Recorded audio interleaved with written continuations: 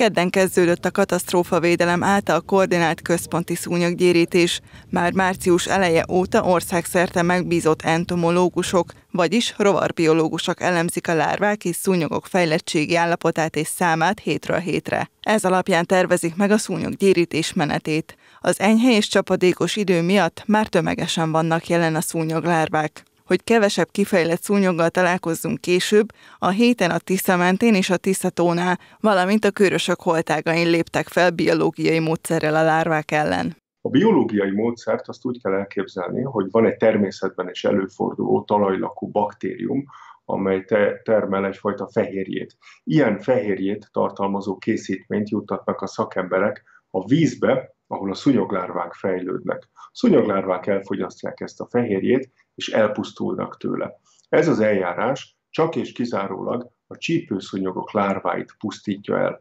Minden más élőlényre, legyen az növény, legyen az állat, legyen az például az embereket, sőt, se egy, vért egyáltalán nem szívó árvaszúnyog, teljesen ártalmatlan, csak és kizárólag a csípőszúnyogok lárváit pusztítja el. Ezt a készítményt a napokban a tenyészőhelyeken juttatták a vízbe, mintegy 5000 hektáron, szabolcs bereg vármegyében, Rakamaz és Tiszalök térségében. A központi szúnyoggyérítés mellett a lakosság is sokat tehet azért, hogy nyárra minél kevesebb vérszívó keljen ki a lárvákból, hiszen sok csípőszúnyognak néhány száz méter az élettere. Szüntessük meg a kertben ezeket a kis pangóvizeket. Egy-egy esőzés után minden olyan tárgyban a kertben, amelyben képes megállni a víz, bizony szúnyogbölcsöde alakul ki, százával, ezrével képesek egy-egy deciliter vízben kifejlődni a szúnyoglárvák. Annak érdekében, hogy ne legyen sok szúnyog idén, én azt javaslom, hogy a kertben ezeket a pangóvizeket öntsük ki.